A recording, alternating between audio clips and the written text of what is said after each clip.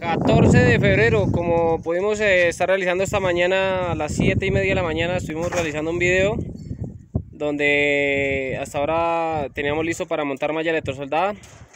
Ya montamos la malla electrosoldada en todo el perímetro. Eh, la plomería del baño.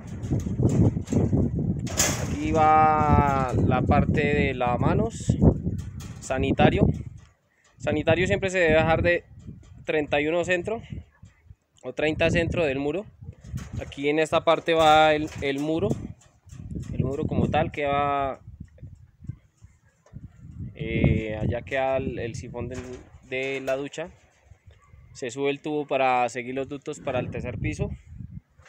Aquí va la tubería de la cocina, para la poseta de la cocina, el ducto de agua lluvias y subimos lavadero eh, la altura de los lavaderos y lavamanos siempre es de aproximadamente entre 45 y 50 centros del nivel de, piso.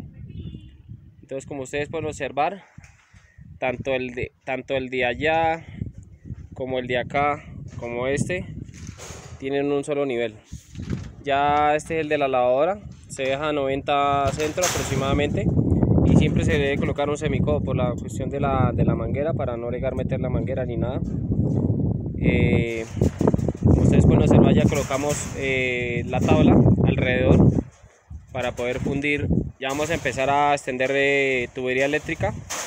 Eh, vamos mirando aquí junto con el compañero cómo vamos realizando la obra